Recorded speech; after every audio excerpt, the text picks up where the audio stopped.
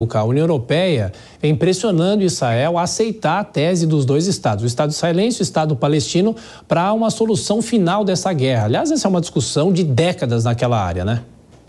Exato, essa é uma discussão que surgiu desde a fundação do Estado de Israel no final da década de 40 e hoje um dos principais é, diplomatas da União Europeia, Josep Borrell, disse que Israel só poderá construir uma paz duradoura concedendo o direito à Palestina de ter o seu próprio Estado, de ter a sua própria organização, o seu próprio porto na faixa de Gaza e um território contínuo, tendo Jerusalém Oriental como sua capital. Eles disseram que apenas através dessa via e não exclusivamente pelas vias militares que a paz pode ser construída, mas a gente sabe que após declarações feitas pelo próprio premier Benjamin Netanyahu durante a última semana, os israelenses descartam por hora essa possibilidade. Lembrando que os próprios americanos, os principais aliados de Israel, já disseram que são favoráveis também a uma solução de dois estados, com o estabelecimento das fronteiras israelenses e palestinas, mas por hora é, Benjamin Netanyahu e seu governo descartaram essa possibilidade, dizendo que qualquer alternativa que não